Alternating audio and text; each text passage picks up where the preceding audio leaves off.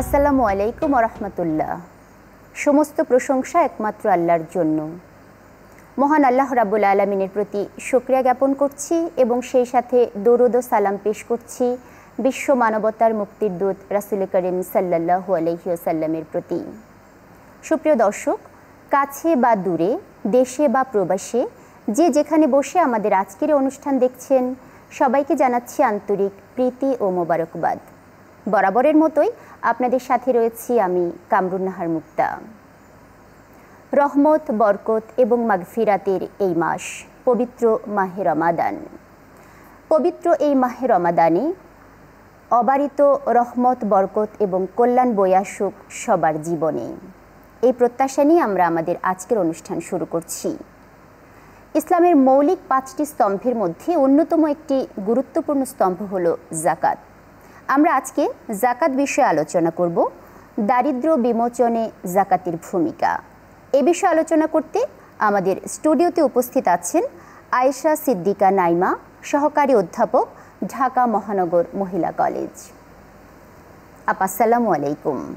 ওয়ালাইকুম আসসালাম। কেমন আছেন আপা? জি আপা আলহামদুলিল্লাহ। কেমন আছেন আপনি? শকর আলহামদুলিল্লাহ বেশ ভালো আছি। আপনাকে অনেক অনেক ধন্যবাদ জানাচ্ছি। অনেক ব্যস্ততার মধ্য দিয়েও আমাদেরকে সময় দিতে এসেছেন। আপনাকেও ধন্যবাদ। আপা আমরা আজকে আলোচনা করব দারিদ্র বিমোচনে জাকাতের ভূমিকা এই বিষয়ে। প্রথমেই জানতে চাইব জাকাত বলতে আমরা কি বুঝি? জাকাত বলতে আসলে যেটা বোঝায় বৃদ্ধিকরণ এবং ব্যাপকভাবে যেটা গ্রহণযোগ্য সেটা হচ্ছে পবিত্রকরণ। জাকাত ধর্মীয় নিয়ম অনুযায়ী এটা একটা আর্থিক ইবাদত। চন্দ্রমাস হিসাব করে এই আর্থিক এবাদতটা হয়ে থাকে। চন্দ্রমাস এবং সৌর ক্যালেন্ডারের মধ্যে কিন্তু টেন ডেজ ডিফারেন্স আছে। তো জাকাতের হিসাবে যদি আমরা সৌর ক্যালেন্ডার হিসাব করি তাহলে কিন্তু একটু ভুল হবে। অবশ্যই অবশ্যই এটা চন্দ্রমাসের ক্যালেন্ডার যেটা অ্যারাবিক মাসগুলো কাউন্টেড হয়। এবং যেদিন থেকে আমি আমার সম্পদকে জমা করতে শুরু করব, সেই দিন থেকে অ্যারাবিক ক্যালেন্ডার অনুযায়ী ওয়ান মান্থ ফুলফিল হতে হবে। এবং জাকাত অর্থ যে পবিত্রকরণ, বৃদ্ধিকরণ, এটার এই যে পবিত্রকরণটা হচ্ছে তাকোয়া তাকোয়ার সাথে রিলেটেড অপবিত্র জিনিসকে পবিত্র করে ফেলবে বা কাপড় ধুয়ে পরিষ্কার করবে, এ ব্যাপারটা কিন্তু এরকম না। তাকোয়ার মান উন্নয়ন। তাকোয়াকে পবিত্র করা, নিজের সম্পদকে পবিত্র করা আর বৃদ্ধি করা হচ্ছে, এটা হচ্ছে ইসলামে যতগুলো উপাদান আছে, এই একটি মাত্র উপাদান সরাসরি অর্থের সাথে জড়িত। এবং এই অর্থ বিতরণের মাধ্যমে, এই এই বিতরণ মানে আসলে হচ্ছে ইনভেস্টমেন্ট বিনিয়োগ।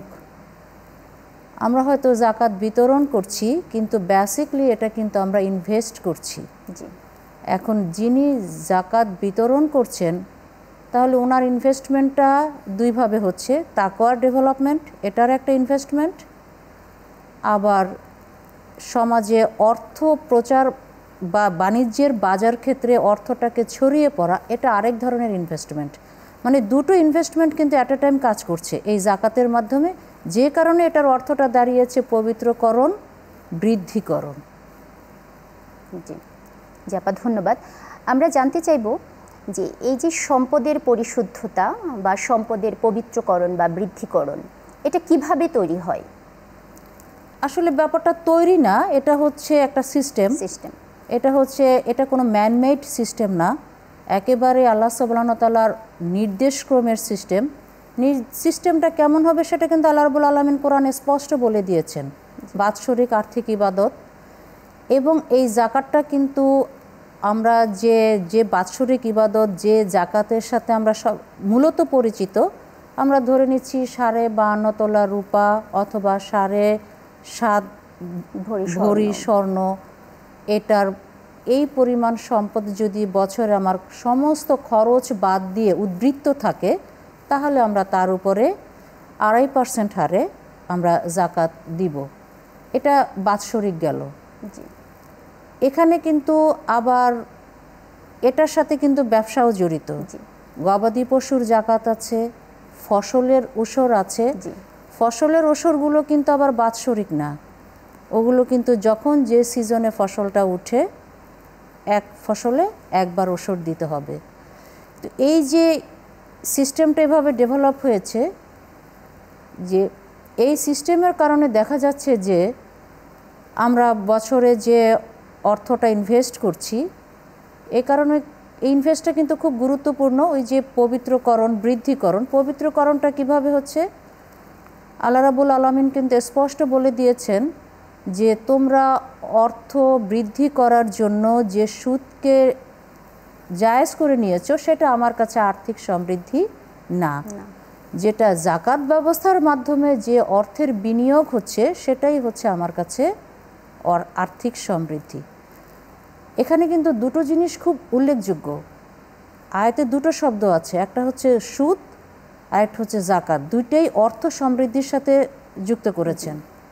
এখন সুদকে আল্লাহ রাবুল আলমিন বলছে যে, আমার দৃষ্টিতে সেটাও আর্থিক সমৃদ্ধি না, জাকাত হচ্ছে আর্থিক সমৃদ্ধি। তাহলে এই দুটোর কোরিলেশন যদি আমি করতে চাই তাহলে সুদ আল্লাহ রাবুল আলমিন কেন নিষেধ করেছেন? আমাদের কাছে মনে হয় this is only an order কিন্তু আমরা যদি আমাদের সোশ্যাল কন্টেক্সটগুলো দেখি আমাদের চারিপাশগুলো দেখি পত্রপত্রিকার নিউজ দেখি যে ছোট ছোট ক্ষুদ্র ঋণ ক্ষুদ্র ঋণ বলেন আর বড় ঋণ বলেন যে সকল ঋণগুলো আছে সুদ ভিত্তিক যে ঋণগুলো আছে বড় ঋণগুলিও যে সবসময় মধ্যবিত্তরা শোধ দিতে পারছে ব্যাপারটা কিন্তু তা না। তাহলে কেন শোধ দিতে পারছে না? সুদটাও কিন্তু অনেক বেশি বেড়ে যাচ্ছে। আর যারা ছোট ক্ষুদ্র ঋণ নিচ্ছে তাদের অনেক ধরনের হতাশা আত্মহত্যার কথা আমরা শুনি।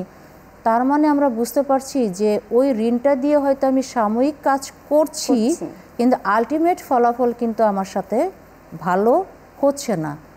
এই প্রসঙ্গে কিন্তু একটা সহি হাদিস আছে। রাসুল্লাহ সাল্লাহ সাল্লাম বলেছেন যে তোমরা যদি তোমার নিজস্ব মালের সাথে যদি জাকাত বিহীন মালকে মিশ্রিত করে ফেলো মানে জাকাত দেওয়া হচ্ছে না মানে যে মালটা জাকাতের জন্য উপযুক্ত হয়ে আছে যতটুকুন জাকাতের জন্য রেডি হয়ে আছে এটা যদি মিশ্রিত অবস্থায় থেকে যায় তাহলে সেটা কখনোই জাতির জন্য কল্যাণকর না।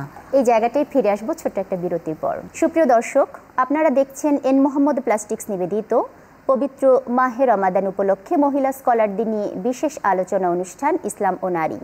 সময় হলো ছোট্ট একটি বিরতির। সাথেই থাকুন।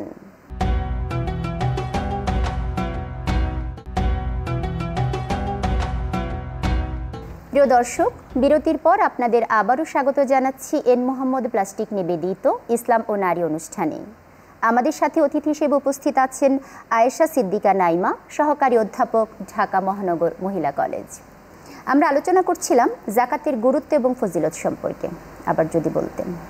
জাকাতের গুরুত্ব হচ্ছে আপা, এটা অবশ্যই আর্থিক সংক্রান্ত ইবাদত এবং গুরুত্ব হচ্ছে কেন আর্থিক সংক্রান্ত ইবাদত রাখা হলো। আল্লাহ রাবুল আলমিন সুরা তাওবার ষাট নম্বর আয়াতে স্পষ্টভাবে উল্লেখ করে দিয়েছেন যে সাদাকা তো কেবল নিঃস্ব, অভাবগ্রস্ত এবং জাকাতের সাথে সংশ্লিষ্ট কর্মজীবীদের জন্য চিত্ত আকর্ষণের জন্য দাস দাসী মুক্তির জন্য, ঋণগ্রস্তদের জন্য, আল্লাহর পথে ব্যয় করার জন্য, মুসাফিরের জন্য। আটটা খাত সুরা তাওবাত আল্লাহ রাবুল আলমী নির্দেশ করে দিয়েছেন এবং আটটা খাতের উপর আল্লাহ রাবুল আলমিন বেশি করে জোর দিয়েছেন। সমাজে তো আরও আরও অনেক অনেক খাত আছে। কিন্তু আপনি চাইলেই বাকি সবগুলো খাতের মধ্যে জাকাতের অর্থ ব্যয় করতে পারবেন না।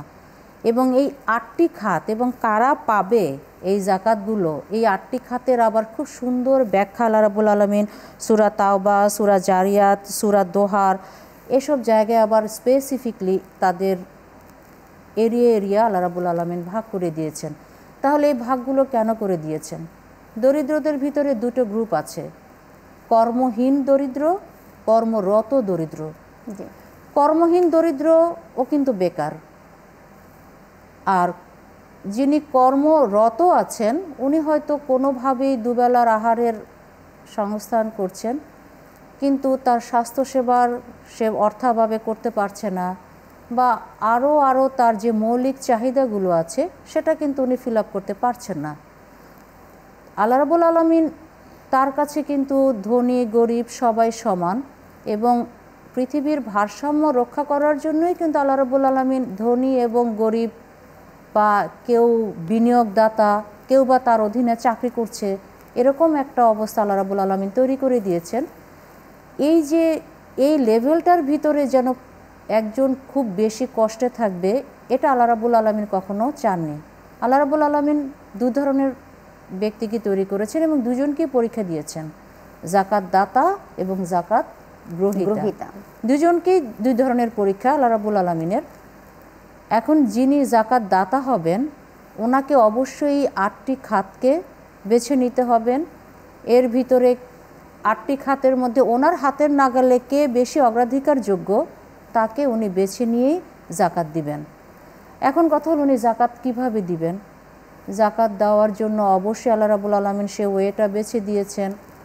আপনার নিকটস্থ বা আপনার পরিচিত বা যদি আপনি কাউকে জাকাত দেওয়ার জন্য মনস্থ করে থাকেন আপনাকে দেখতে হবে যে আট ক্রাইটেরিয়ার মধ্যে সে পড়ছে কিনা। এটা অবশ্যই আপনাকে দেখতে হবে এবং যিনি জাকাতদাতা তাকে খুবই গুরুত্বের সাথে এটা দেখতে হবে এবং খুলসিয়াতের সাথে দেখতে হবে। প্রাথমিক দায়িত্ব হচ্ছে যে তারকে একটা মূলধন দেওয়া। স্বাবলম্বী করা। একজন হয়তো শ্রমিক তার হয়তো একটা কোদাল আছে বা একটাও নাই। কিন্তু সে গায়ে খাটতে পারছে। একটা কোদাল কেনার সামর্থ্য তার নেই। আপনি তাকে কোদালটা কিনে দেন। অথবা ছোট একটা ব্যবসায়ী আছে তাকে অল্প কিছু মূলধন দিলেই সে একটু সুন্দর মতো চলতে পারে। এই জিনিসগুলো খুব বেশি অগ্রাধিকারযোগ্য। আপা আমাদের দেশে দেখা যায় যে জাকাত এমনভাবে বিতরণ করা হয় জাকাতের শাড়ি বা লুঙ্গি মানে ব্যক্তি বিশেষ এরকম করে দেওয়া হয়। এভাবে কি জাকাতটা দেওয়া যায় কি? আপা এভাবে দিলে জাকাত আদায় হয়ে যায়। আপনার যে জাকাতের জন্য যে নির্ধারিত সম্পদ আছে সেটা আপনি বিলি করে দিয়েছেন কিন্তু জাকাতের উদ্দেশ্যটা সফল হচ্ছে না। আদায় হওয়ার উদ্দেশ্য হওয়া এক জিনিস না।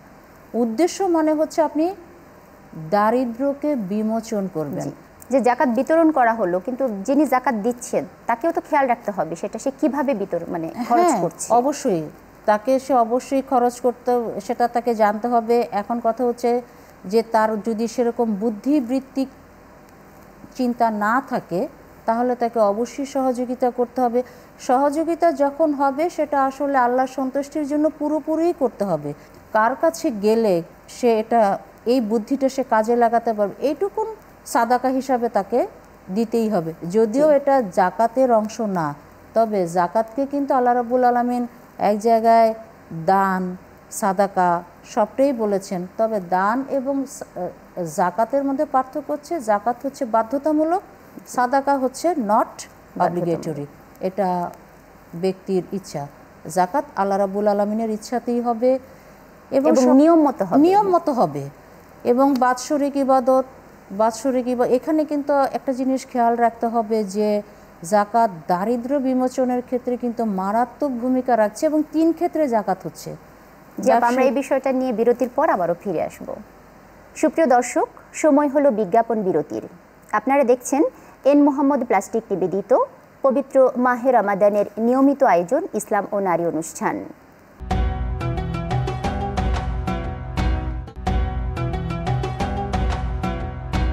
সুপ্রিয় দর্শক, বিরতির পর আপনাদের আবারও স্বাগত জানাচ্ছি এন মোহাম্মদ প্লাস্টিক নিবেদিত ইসলাম ও নারী অনুষ্ঠানে। সাথে থাকার জন্য ধন্যবাদ। আপা, আমরা বিরতির আগে যে বিষয়টা নিয়ে আলোচনা করছিলাম। ধন্যবাদ। আমরা যেটা বলছিলাম জাকাত আমরা তিনটি লেভেল থেকে আমরা পাই। একটা হচ্ছে সোনা এবং রূপার সাড়ে সাত ভরি সোনা বা সাড়ে বাউন্ন তোলা রূপা ভরি আর তোলা একই জিনিস। এ পরিমাণ যদি আমার সম্পদ উদ্বৃত্ত থাকে সেখান থেকে আমি আসব। সেটা চাকরিজীবীর ক্ষেত্রে হোক বা ব্যবসায়ের ক্ষেত্রে হোক। আরেকটি লেভেল আছে যার গবাদি পশু আছে। তার সকল প্রয়োজন মেটানোর পরে যদি তার গরু বা মহিষ ত্রিশটি থাকে, তাহলে সে জাকাত প্রদান করবে। এক বছর বয়সী একটি বাছুর যদি চল্লিশটির বেশি গরু মহিষ থাকে, তাহলে সে জাকাত প্রদান করবে। দুই বছর বয়সী একটি বাছুর যদি তার পাঁচ থেকে নয়টি উট থাকে, তাহলে সে জাকাত হিসাবে দিবে একটি ছাগল। যদি তার দশটি থেকে চোদ্দোটি থাকে তাহলে দিবে সে দুইটি ছাগল মানে প্রতি পাঁচটির জন্য একটি। আর যদি ছাগল ভেড়া চল্লিশটি থাকে তাহলে তার জন্য সে জাকাত দিবে একটি। তাহলে আপনি খেয়াল করেন এগুলো কিন্তু পশুটাই জাকাত দিয়ে দিচ্ছে। তাহলে জাকাত যে আটটি গ্রুপ আছে তার মধ্যে উনি যাকে পছন্দ করছেন দিচ্ছেন ওখান থেকে কিন্তু তার সে আবার চাষবাস করছে। গবাদি পশু থেকে আয়ের নানান সোর্স আছে এটা তার একটা কিন্তু পার্মানেন্ট দারিদ্র বিমোচন হয়ে যাচ্ছে। আরেকটি বিষয় হচ্ছে আপা সেটা হচ্ছে এই ফসল। ফসল কিন্তু কোথাও কোথাও বছরে তিনটা আমাদের দেশে বছরে তিনটা ফসল উঠে অঞ্চলভেদে একটা উঠে দুইটা উঠে। প্রতি ফসলে জমির জন্য একবার করে ওষুধ দিতে হবে। ফসলটা ঘরে তোলার আগে ওষুধ দিয়ে দিতে হবে। এটা আমাদের দেশে একেবারে চর্চা হয় না বললেই চলে। এখন আপনি দেখেন ওষুধটা দিতে হবে কি? যদি সেচের পানিতে হয় তাহলে বিশ ভাগের এক ভাগ আর যদি জমিতে সেচ না দিতে হয় তাহলে দিতে হবে দশ ভাগের এক ভাগ। এবং আপনাকে আমি কৃষি সম্প্রসারণ অধিদপ্তরের যে বর্ষ সংখ্যা তার হচ্ছে দুই হাজার বাইশ বিশ একুশ সালের যে অর্থ বছরে সে অর্থ প্রকাশ করেছে যে বাংলাদেশে উৎপাদন হয়েছে চার কোটি পঞ্চান্ন লাখ পাঁচ হাজার টন। আপনি যদি একেবারে ফেলে টেলে যদি সত্তর পার্সেন্ট ফসলের উপরও ওসর আপনি কাউন্ট করেন তাহলে দেখা যাবে ওসর আসে দাঁড়ায় বিশ লাখ টন খাদ্যশস্য এবং ওসর কিন্তু হবে শুধুমাত্র যেসব খাবারকে সংরক্ষণ করা যায় পচনশীল দ্রব্য না শাকসবজির উপরে না। যেগুলো অনেক দিন সংরক্ষণ করা যায় তাদের উপর। এখন আমি একটু হিসাব বলি যে গত বছর যদি বিশ লাখ টন খাদ্যশস্য ঘরে তোলার আগেই ওসর বা জাকাত হিসাবে দিয়ে দেওয়া হতো। কতগুলো মানুষের হাতে খাবার পৌঁছে যেত? আমরা শুধু ক্যাশ টাকাটাই দিচ্ছি এবং ক্যাশ টাকার কিন্তু ইনভেস্টমেন্ট কীভাবে আবার ক্যাশ টাকা ইনভেস্টমেন্ট হচ্ছে? আমি টাকাটা ঘরে রাখলে কিন্তু টাকা বাড়ছে না। ব্যাংকও কিন্তু ইনভেস্ট করে ব্যবসায়। আমি যখন জাকাতের টাকা আমার গরিবের হাতে তুলে দিচ্ছি ওর এটা সেটা কেনার প্রয়োজন হয় সে দোকানে গিয়ে খুঁজে। দোকানদার যখন দেখে যে ক্রেতা বেড়ে গিয়েছে সে তখন আবার চাহিদা পূরণের জন্য সে আরেক জায়গায় সে নক করছে, উৎপাদকের কাছে নক করছে। এভাবে কিন্তু money begets money without interest যেটা আল্লাহ রাবুল আলমিন সুরা রুমে বলেছেন যে, আমি সুদ ভিত্তিক অর্থনীতির সমৃদ্ধি চাই না। জি আপা, অনেক ধন্যবাদ জানাচ্ছি। খুব চমৎকারভাবে আলোচনা করছিলেন দারিদ্র্য বিমোচনে জাকাতের ভূমিকা এই বিষয়ে। জাকাত, ইসলামের মৌলিক স্তম্ভের মধ্যে অন্যতম একটি স্তম্ভ। ধনীদের সম্পদে দরিদ্রদের অধিকার রয়েছে, তারই ধারাবাহিকতায় জাকাত। দারিদ্র্য বিমোচনে জাকাতের ভূমিকা তখনই সফল হবে যখন সঠিকভাবে জাকাত গ্রহণ করা যাবে এবং তা সঠিক উপায়ে বিতরণ করা যাবে। সুপ্রিয় দর্শক, আপনাদের সবাইকে আবারও আন্তরিক ধন্যবাদ এবং কৃতজ্ঞতা জানিয়ে আজকের অনুষ্ঠান এখানেই শেষ করছি। ভালো থাকবেন, সুস্থ থাকবেন, শুভকামনা সবার জন্য। আসসালামু আলাইকুম।